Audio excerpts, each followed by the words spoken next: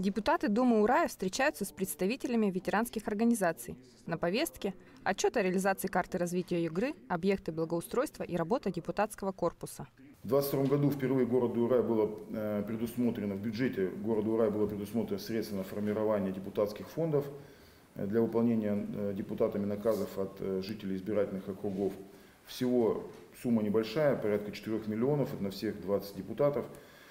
На эти деньги было реализовано 13 наказов. По просьбам жителей расширена стоянка в третьем микрорайоне. Появились новые игровые и спортивные формы, лавочки и урны во дворах. А в юго-восточном подготовлена территория для детской площадки. О реализации объектов в рамках соглашения правительства Югры и нефтяников рассказал помощник депутата Думы Урая Эдуард Михель. За год преобразились площадь первооткрывателей и сквер романтиков. Появились светодиодные украшения на фасаде здания школы искусств. Изменился двор в западном микрорайоне. Последний объект по-настоящему обрадовал жителей.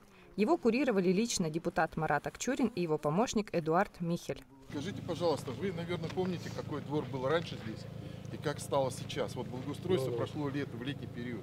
Скажите, есть какие-то э, моменты положительные? Может быть, что-то что, -то, не так сделали? Честно? Да, честно. Молодцы, наконец-то. Вот так вот. Молодцы, ну, наконец-то. Я очень рад. Вам огромное спасибо Нет, за теплые слова. Спасибо потому что, ну, по большому счету, давным-давно действительно про, и весь напрашивалось. Урай так, и весь урай так надо сделать. Ну, стараемся, будем это же, делать. Ну, это же приятно же смотреть. И ребятне осталось, все как красиво да. сделано. И люди остались с машинами, как положено. А то вечно на, на бордюрах, на это, что это? Спасибо вам. Молодцы. Благодарствую. Встреча с ветеранами – это не только возможность рассказать о деятельности депутатов, но и найти новые идеи для дальнейшей работы.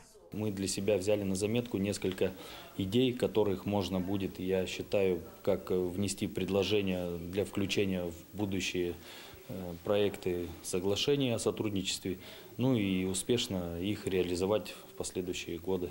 Такие встречи станут традиционными. Они сокращают дистанцию между избирателями и депутатами, позволяют услышать друг друга в неформальной обстановке.